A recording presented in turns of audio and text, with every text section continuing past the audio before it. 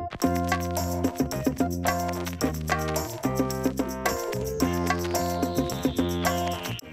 like the least safe feeling vehicle I think I've ever been behind the wheel of. What's up, everybody? My name is Elliott, and today we're here with John Ross of Watch JR Go, and he brought us a little uh, Chinese car. fun egg car.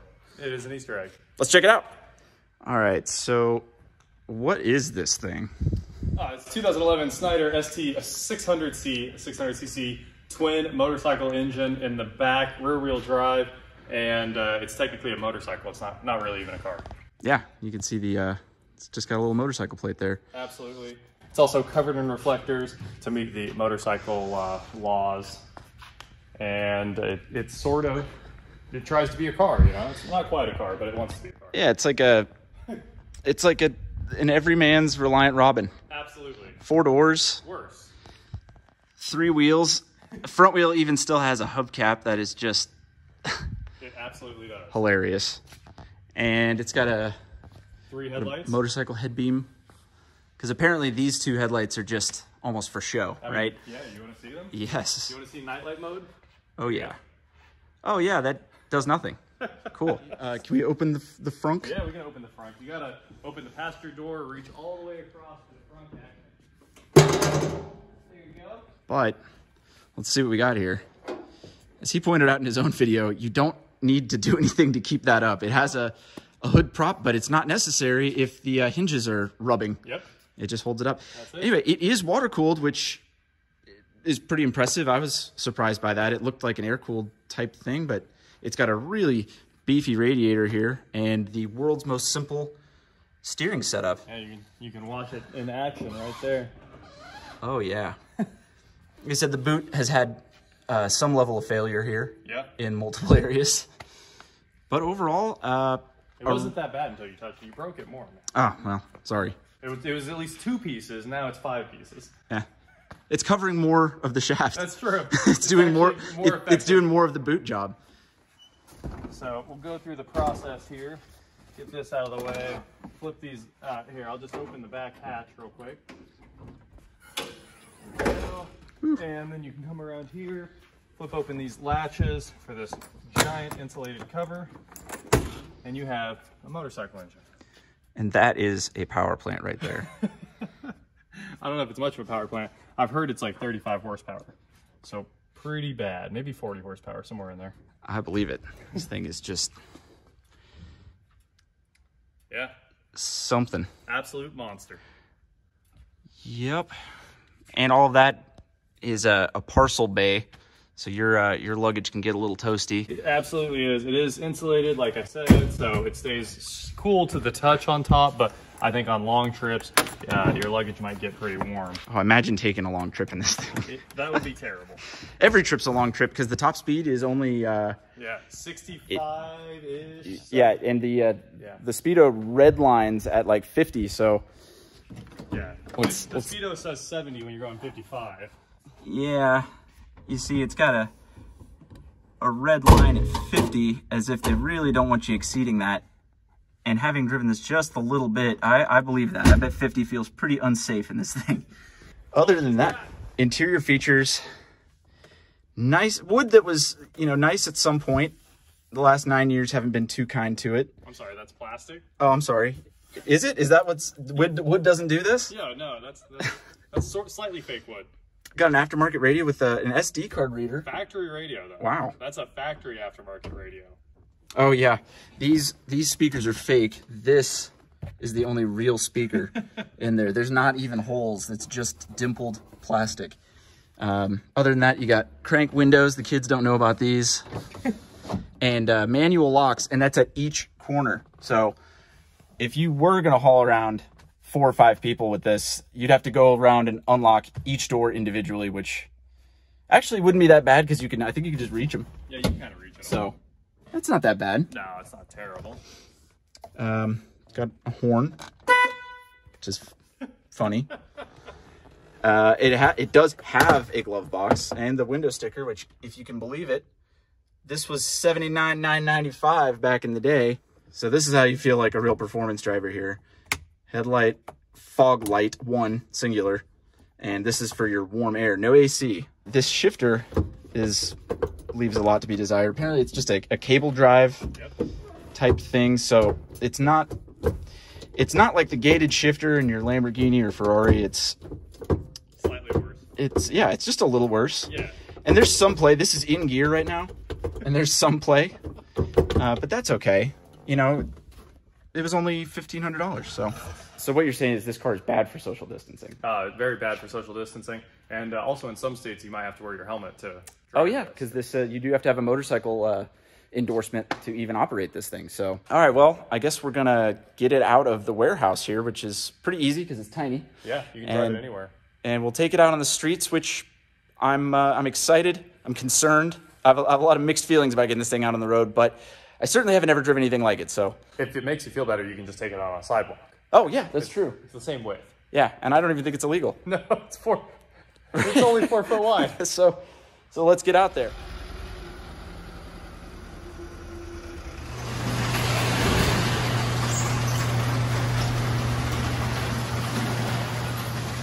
We're uh, setting off here in the Snyder. Setting off. What is it? The S ST600C. six hundred C.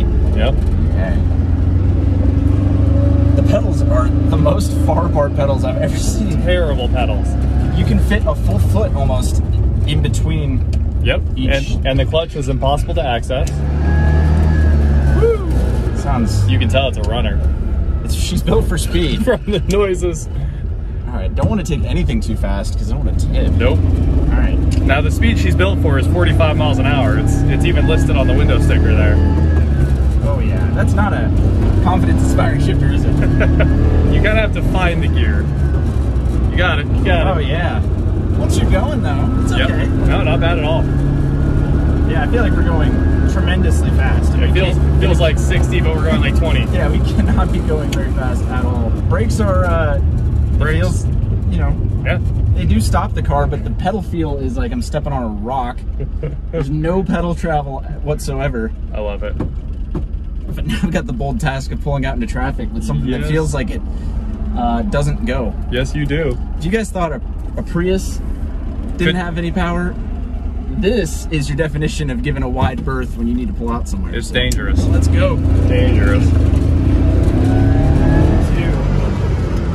Ah, there's third. You got it. This is all she's got, folks. Floored. Yep. Is it to have a fourth? Yep. Nailed it. Oh yeah. If you can bring it into the speedo here, it looks like we're just flying. I can assure you we're not going as fast as this is saying we're going. It's about 20 off. Because, oh my god, it's rattling in here. Flip it back around. I don't even know if that's going to come out on camera, but we're going straight and it's, Yeah, it's shaking up and down like crazy. And I have to hold it. It could be because of wind, could be out of alignment. Who knows?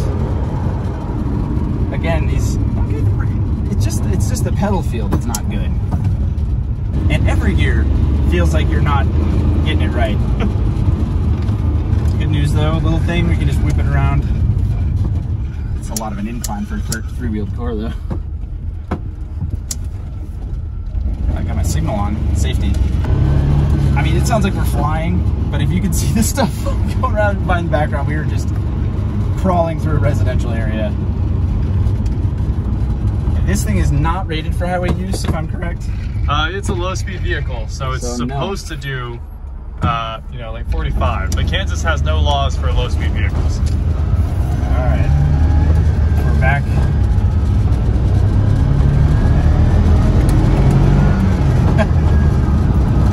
All right, we're gonna see if we can grab fourth here.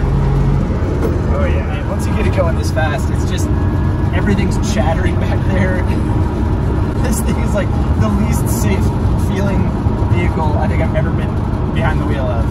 And I've driven a lot of older stuff that was that predates safety. Uh, this doesn't predate safety; it just doesn't care. This was purely a cost-cutting vehicle um, meant for other countries that somehow we have the pleasure of having one of the states. Right. The target market for this in the states, there's not a city that I've been to uh, that would make sense to have this. Yeah, in Wichita, it's like borderline drivable because you can get around. Uh, the traffic's not wild, but if you had to like get through traffic, Oh my gosh. I mean, you'd be fighting for your life with this car. Yeah. I mean, this would be okay on a college campus. I Yeah, absolutely. Uh, in fact, it would be hilarious on a college campus. You'd get Would. hit. Yep. Uh, but that's it. I mean, that is like. Yeah, Once you get out on the actual streets, Super sketchy. dangerous. Yeah. You're at top speed going down like a 55 mile an hour road almost. There's not much Yeah. left. And you're right, the Model T feels safer than this oh, car. Oh yeah. There's some curves up here. Hit the curves. Yeah, let's hit some curves. All right. All how it right. goes. See if it rolls. Well, hopefully not. this is as curvy as it gets in Kansas, guys. So it holds RPM so much in between. It, it does. like I'm off, and it's like going into a curve in a three-wheeled vehicle with two people in it.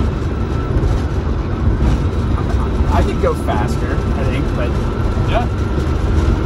You can probably There's- be flat. there's some there's some roll there's some body roll though. It doesn't feel good. Look at that. If that comes out on camera, it is wallowy. And this speedo still cracks me up. It looks Yeah. like we're flying. We just aren't. What a weird car.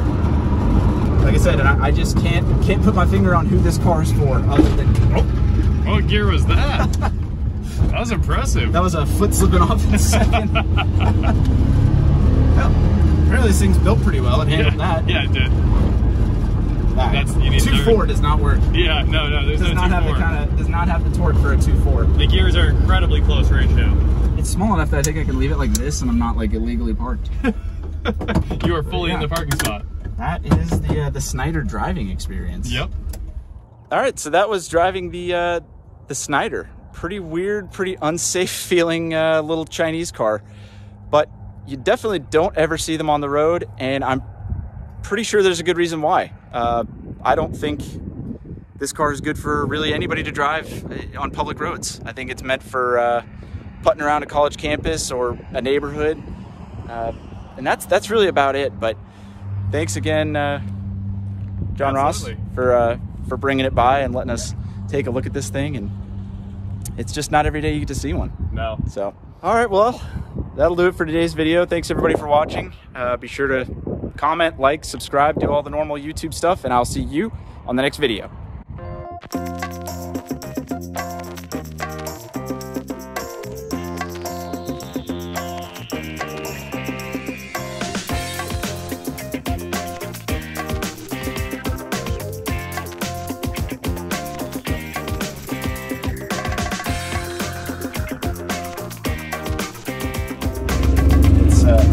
Second. why is it? Why is it doing this? It doesn't usually lurch at all. You can't get into the throttle a bunch, otherwise it lurches. I mean, at all. Look at this though. Something's wrong. Come on, thing. We gotta, we gotta semi barreling down on his front. You might. Yeah. All right, hold on. I gotta take this off.